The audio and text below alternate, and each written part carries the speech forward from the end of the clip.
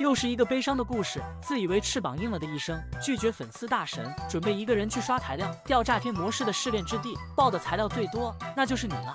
搜索其他玩家的房间，不是一个人吗？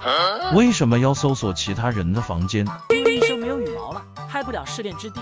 哦，这不得来了来了，第一个 boss 就是远古巨象，又是一个非常好对付的 boss。boss 不能动，只要集火它就能轻松获胜。要是火力不够呢？那就只能等死了。原来医生不是最菜的那个，也强不到哪里去，我这是背水一战，力竭而亡。强词夺理。该死！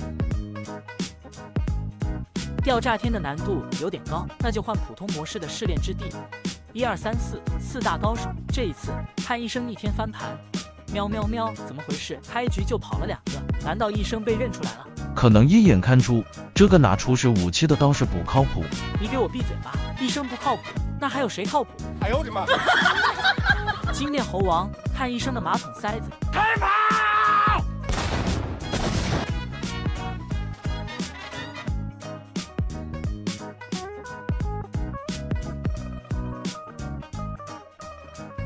佛尔呢的味道怎么样？然后医生就被 boss 一脚踩死了。哼哼，胜利的还是医生。俗话说，死了第一次，后面就会一直死。医生陷入死亡的循环中。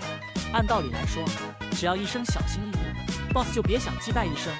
但是吧，医生自带了 buff，根本躲不了。接下来就是医生的死亡和解。遇到凡事不要慌，先把手指掏出来拍个朋友圈。